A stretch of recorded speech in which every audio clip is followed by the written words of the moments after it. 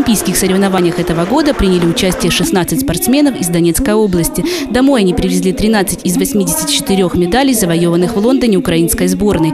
Пловец Виктор Смирнов стал чемпионом Паралимпийских игр в шестой раз. В этом году у него полный комплект медалей – золотая, серебряная и бронзовая. Лучшим стал на 100-метровой дистанции в стиле баттерфляй. Рассказывает, готовиться к состязаниям начал в сентябре прошлого года. Результаты очень растут. В принципе, соперники те же, что из Пекина, но тоже тренируются ребята и очень улучшают. Но я очень доволен за свое выступление. Я, наверное, его оцениваю на 5 с плюсом, потому что в первую очередь я улучшил на порядок свои личные результаты. Приходилось бороться всем, не только мне.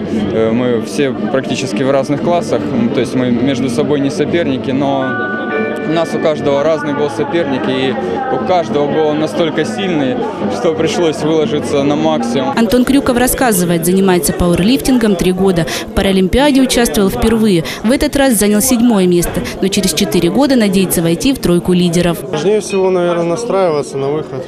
Сделать, сделать то, что ты можешь сделать. На, на то, что ты готов.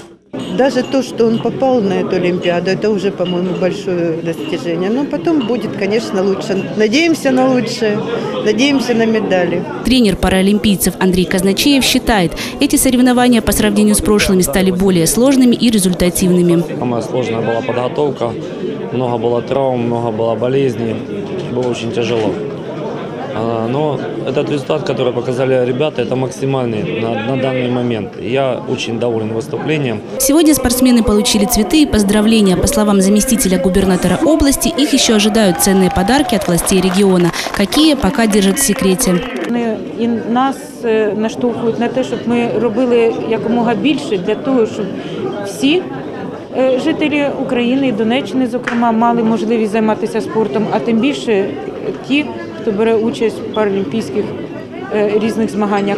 Тому що ми маємо зробити все можливе для того, щоб їм комфортно жилося, і для того, щоб вони себе відчували абсолютно вільно. На паралимпийских соревнованиях в Лондоне сборная Украины заняла четвертое место. Наибольшее количество медалей завоевали пловцы и легкоатлеты. Через четыре года паралимпийцы поедут соревноваться в Бразилию. Екатерина Порохоняк, Роман Фролов, «Панорама».